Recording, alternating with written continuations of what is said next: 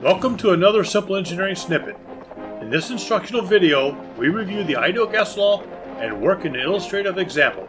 I hope you find it informative. An ideal gas is one that obeys the relation of the type shown. That is a rather unsatisfying explanation. Let's dive in a little deeper. Kinetic theory predicts gas behavior that can be modeled with this type of relation when the molecules of the gas are infinitesimally small, hard, round spheres that occupy negligible volume. Also, no forces exist between the molecules except during collisions. Real gases can approximate this behavior when they are at a low density. The gas constant R in relation is the gas constant for a particular gas. It is derived from the universal gas constant as shown. In the example provided, the gas constant for nitrogen N2 is equal to 296.8 joules per kilogram Kelvin. We will be using this constant later when we work through the illustrative example. There are other forms of the ideal gas equation. This one shown is simply recognizes that the specific volume is the inverse of the density. We will actually be using this form of the ideal gas equation for nitrogen in the example. Another form of the ideal gas equation uses the universal gas constant and the number of moles. Now let's work in an illustrative example.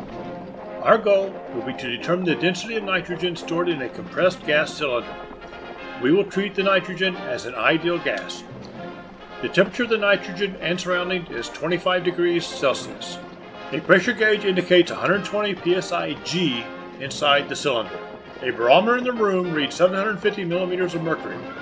We will use this indication to calculate the atmospheric pressure in pascals.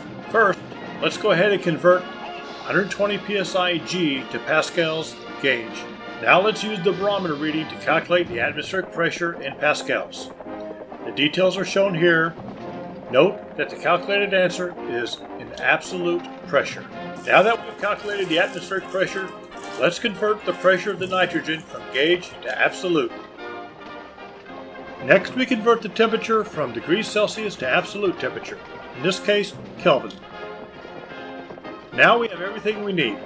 All we have to do is plug in the absolute pressure, absolute temperature, and the gas constant for nitrogen into the ideal gas equation and solve for the density. Although this sounds simple, we need to worry about units, so we do a separate check on the units. I hope you found this instructional snippet useful. If so, then please like and subscribe. Thanks, and have a great day.